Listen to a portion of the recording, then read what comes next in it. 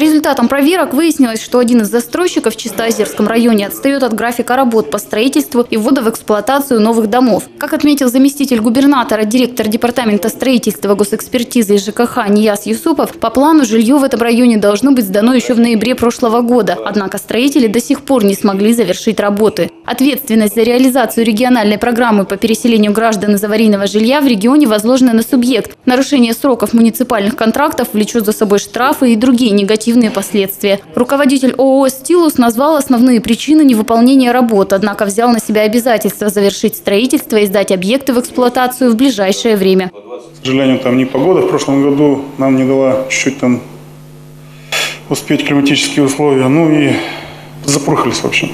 Нияз Юсупов порекомендовал расторгнуть договор с этим застройщиком и отдать строительство другой, более надежной организации. В свою очередь, глава Чистоозерского района Виктор Шаталин выразил уверенность, что «Стилус» доведет дело до конца. Отметим, что ход реализации программы по переселению граждан из аварийного жилищного фонда в Курганской области находится на контроле в Министерстве строительства и ЖКХ России.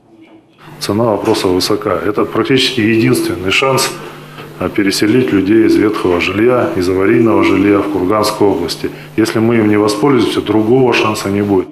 Елена Швецова, Александр Киселев, Андрей Бахарев. Информационное агентство «Курган.ру».